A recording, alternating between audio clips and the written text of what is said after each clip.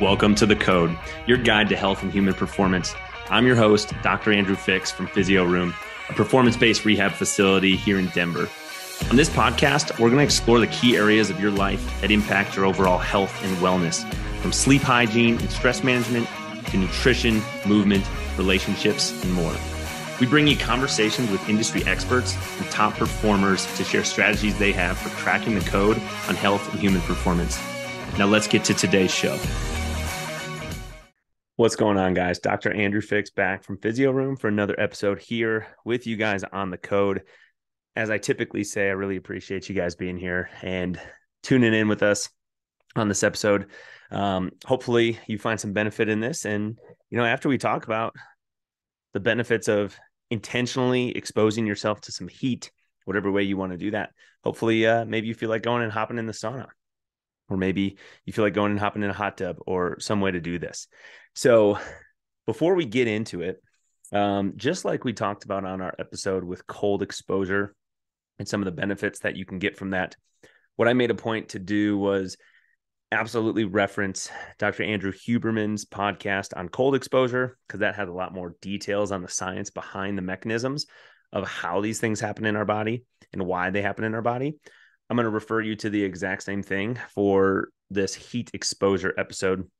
So, Dr. Huberman uh, on the Huberman Lab podcast has an episode titled The Science and Health Benefits of Deliberate Heat Exposure. Looks like they used to have those episodes numbered, but um, I don't see the numbers on there anymore. Maybe those got taken off. But um, absolutely refer back to that one. That's going to have a lot more of the science and the data and really diving deep in the research articles on this topic. But what we're going to do on here is try to make this a bite sized chunk for you guys where we just sort of talk through what the benefits are. We're not going to dive into the research. We're just going to talk about what the research shows. And, um, and please refer to that one if you want to. So let's kick it off. Are you someone that already uses saunas? Do you use saunas? Do you use hot tubs? Do you use some form of heat exposure? If so, throughout this episode, maybe you'll find, you know, are you using it the recommended amount and at the right temperature to get take advantage of the health benefits that might come along with that? So, generally speaking, exposing yourself to heat, uncomfortable heat, right? Like, how hot does it need to be? We'll talk about that, but it needs to be uncomfortable. And what you can expect, generally speaking, what we see from heat exposure from saunas and whatnot is an improvement in our overall health um, research articles actually show a reduction in what's called all cause mortality. And that basically just means no matter what you die from, it could be anything. People that use saunas regularly compared to those who don't see a reduction in all cause mortality. Uh, you can potentially have improvements in mood, positively adjust some of your hormone levels. And a lot of people use saunas and heat exposure because of perceived athletic performance and recovery benefits that you get from those things. And we'll talk about some of the reasons why um, surprising to most, probably what we talked about on the cold exposure episode episode was that when you use an ice bath or expose yourself to extreme cold, the net effect on the body is actually that your core body temperature will warm up, will rise. Now that doesn't happen until a couple hours afterwards, but same thing here with the sauna. The net effect on your body because your body is going to work hard to expel the heat afterwards is that your body temperature is going to reduce post the use of the sauna or whatever form of heat you're using. So post sauna cooling will take effect. So, um, you know, if if you are having trouble sleeping or anything, it might be better to use this in the later half of the day uh, because then your body temperature will cool down. And typically, having a slightly cooler body temperature is going to help us improve our ability to fall asleep. Now, one thing that I do rec- uh, remember hearing in that episode that I listened to on the Huberman podcast was the just caution situations, like when to use caution when going in a sauna. And as you can imagine, these are not the populations of the people that are in any of those studies. But if someone is pregnant or if they're a minor, I think they talked about younger than 16 years old, um, it's recommended that you not use the sauna, um, that this be reserved for healthy adults uh, those that are not pregnant. And then um, there actually could be some reproductive considerations for males as well.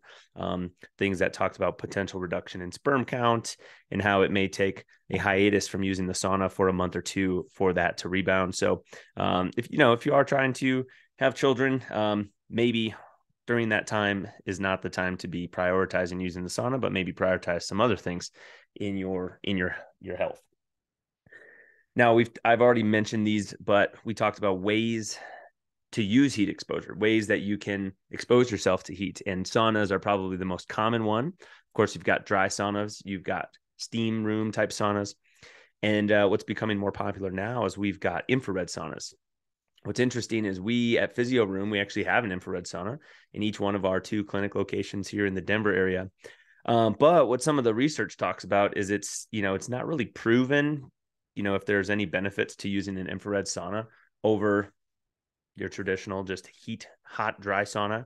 Um, and what it seems like is some of these infrared saunas, or most of them for that matter, they may not actually get hot enough for your body to really reap the positive benefits or at least the full spectrum of the benefits that some of these um, some of these things we're going to talk about because the sauna needs to be quite warm if you're going to use it and really try to get some of these positive effects from it, at least that's what was shown in the research articles to have statistical significancy.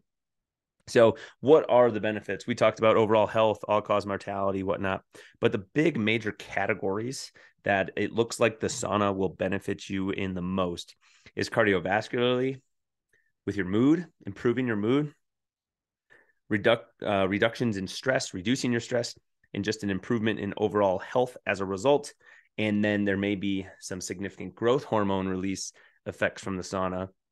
And as we know, growth hormone can have positive improvements on our muscle building and repair, repair and strengthening of bones, improvements in tissue repair, and then uh, even improvements in metabolism. So, you know, why wouldn't you want that? Um, it's it's probably not a shock to people listening to this that you know growth hormone is a commonly used performance enhancing drug. And when you hear about those potential benefits uh, it's not surprising not surprising that it is um, you know why people would want to use that because they definitely can see some effects uh, positively in how they play and perform. But one of the bigger ways that the sauna seems like it benefits us and I'm going to use sauna for heat exposure. Of course, you can. Um, and the reason I'm going to talk about the sauna is because we have one. And when I expose myself to heat, that's what I'm doing. Uh, but now that I've dove more into it, it seems I might not be actually getting it hot enough. So hopefully, I still get some of these benefits. But uh, of course, hot tubs and hot showers and things could be used as well um, if they're able to get get you warm enough. Now, cardiovascular health is probably one of the areas where the benefits seem to be the highest. Um, and what's interesting, and if you've ever used a sauna that's particularly hot, you probably feel this. It feels similar to if you were doing kind of light cardiovascular exercise. Your heart rate's increasing, your blood flow is is increasing. Um, you're having vasodilation. You may even see some veins. Now, part of that could be because of dehydration, being in the sauna, but you get similar effects to that of which you would if you were doing cardiovascular exercise. Now, in order for that to take place, the sauna, like I said, needs to be really warm because it needs to make it challenging for you to be in there, challenging your respiratory system, challenging your body to try and cool itself down because of the hot, hot environment.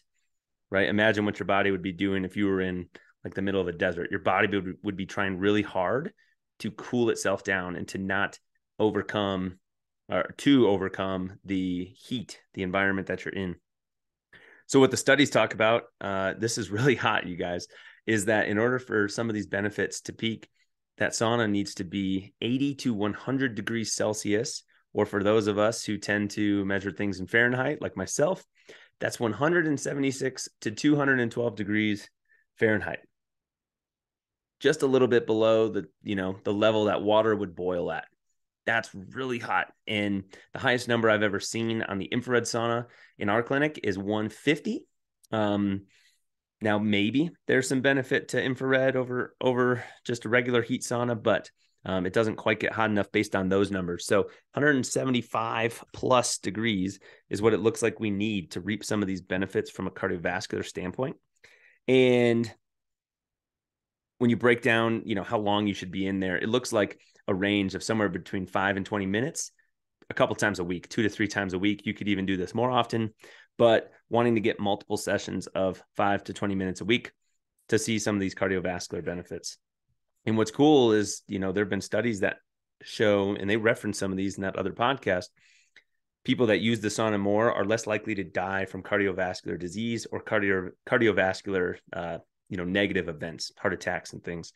Um, of course, a lot of people may have family histories of those things. So if there's just one uh, extra little thing that's not, you know, too invasive or too difficult to accomplish, um, maybe why wouldn't you want to do that to potentially benefit your health and decrease any risk of issues down the road?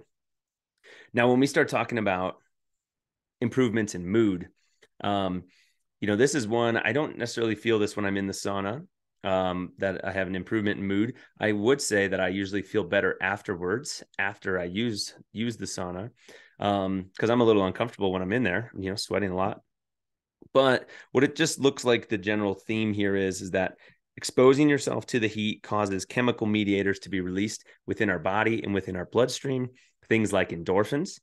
And um, as a result of that, we may experience an increase or an improvement in our mood following because of the circulating in our bloodstream of these endorphins and the effects that they have on the body.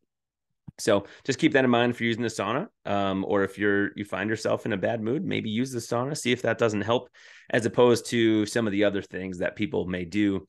Um, you know, maybe drinking or or whatever um, to improve their mood, if, or do if they're in a bad mood.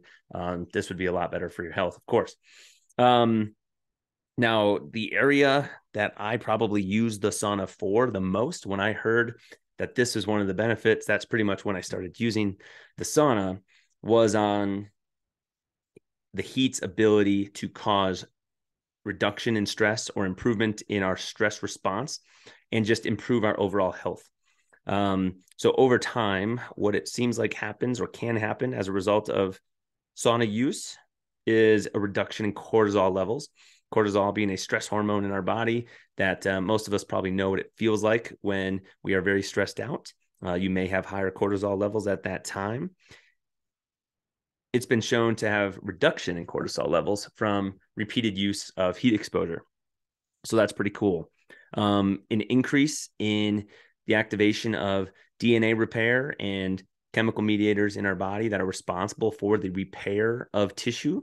Um, and what I know from reading some other studies about DNA repair and DNA breakdown over time is that has a huge effect on our longevity.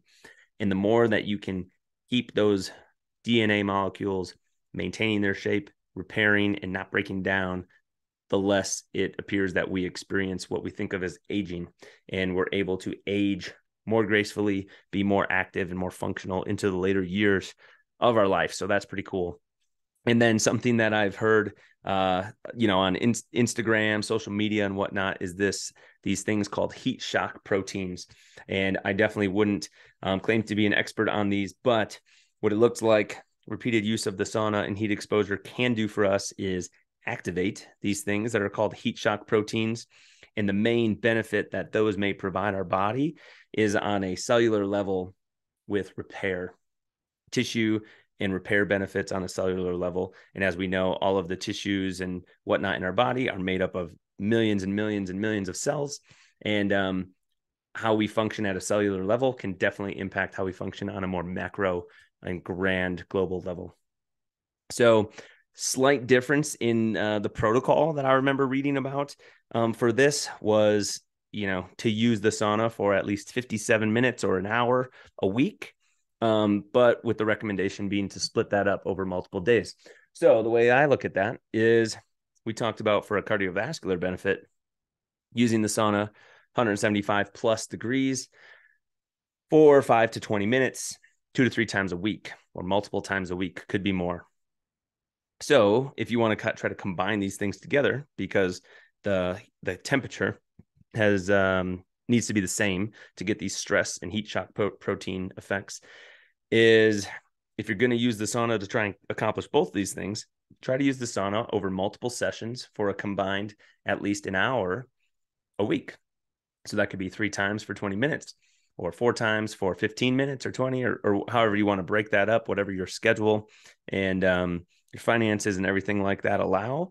Um, but you can kind of accomplish both these, check both those boxes at the same time as the cardiovascular and the reduction in stress, which is kind of cool.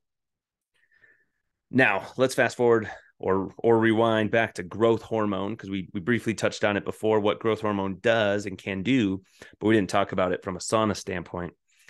So you can have an improvement in the release or an increase in the release of growth hormone with repeated use of the sauna.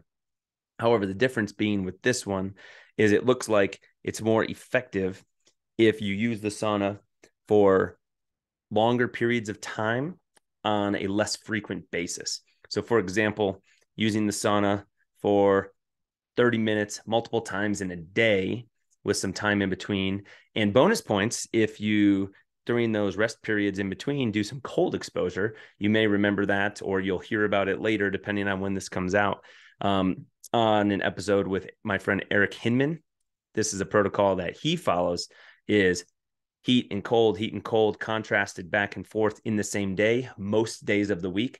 And I know this is one of the main benefits or main reasons, excuse me, that he does it is to try to, you know, exploit this benefit um, to benefit him in his training, in his repair, and his recovery.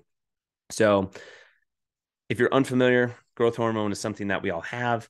Generally, it is released and is higher in our bodies at night you know while we're sleeping while we're recovering that makes sense. While we're sleeping is is you know when our body is trying to recover the most. But over time as we age we naturally have less growth hormone. So potentially using heat exposure it looks like is a way that you can kind of take advantage of getting more of that released and see maybe less of a reduction as we age. Um, and as we talked about, it can have all sorts of benefits for our body, including muscle size and growth, bone strengthening, which we know resistance training can cause strengthening of bones as well. That's called Wolff's Law or Wolff's Principle. Um, repair of tissues, such as muscles and everything else, and then improvements in our metabolism. All right. So I just talked for a while on that, but let's do a quick recap and then you know, let me just tell you how I've tried to implement this with, you know, we all have busy lives, busy work, family lives, whatever it is.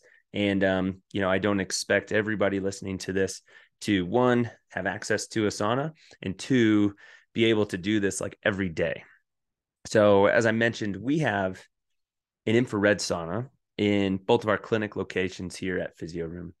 And what I've done is I've tried to take at least one, preferably two days a week. Get the sauna turned on so that it can warm up before I actually get in there. And then when I'm done with work for the day, or right after my workout, if I have, you know, if I have a little bit of a break before I start treating clients again or getting back into work in the afternoon, hopping in the sauna for approximately 30 minutes. I've just been trying to accomplish that you know 57 minutes or one hour a week since I listened to the Huberman podcast several months back, and um, you know what the way that I've been able to fit that in my schedule the most is two sessions as opposed to three um, for just a little bit longer at a time because then I have to hop in the sauna fewer times per week, and then I have been unable to combine that with immediate cold exposure like back and forth. But as you guys heard on my episode or our episode about cold exposure, I've been hopping in an ice bath that I use frozen water bottles to cool the water um, in our garage multiple times a week, usually three times a week for five to 10 minutes um, per time. And that lately I've been getting that down to right around the 50 degree, 50 degree point. So, um, you know, I'm going to try to find if there's a way I can improve the heat of the sauna since I read some of these things that talk about 176 plus 175 plus degrees. Wonder how I might be able to increase the temperature of the saunas that I'm using.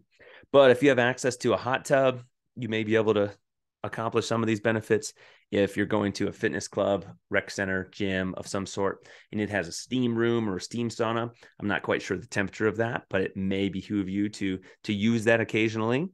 And then, you know, there are a lot of other places popping up, sports recovery type of places um, restore hyper wellness. Again, you may hear Eric Hinman talking about that.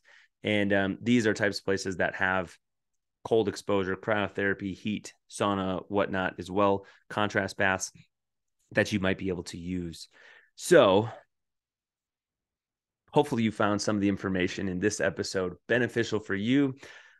I'm sorry if it felt like I was rambling at the about this, you guys. I'm a little bit passionate about it. Um, I just did a sauna session a few days ago, and talking about this kind of just remotivated me to try and continue with my routine of getting in there at least twice a week, trying to reap some of these benefits because all of these things we talked about, you know, I'm so much more about trying to be proactive in our health and try to optimize things from the get go because the quality of the life that you live is going to be so much higher as a result of that. So, you know, go out there, hop in the sauna. If you've never used our sauna at Physio Room and you're one of our clients or somebody here locally listening to this, please just shoot us a message, shoot me a message and uh, ask how you can get in there and we'll we'll let you come in and try out the sauna and see what you think about it.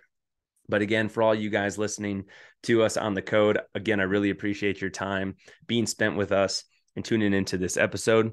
If you've not done so already, again, I would really, really appreciate it if you would take just a moment or two of your time to leave us a review, share some some things that you like about the show, potentially ask us for other topics that you want to hear about, and I will make sure to try and um, record an episode or find someone who's an expert in that to interview them and get that here on the show as well. Look forward to seeing you guys next time on the code. Have an awesome day.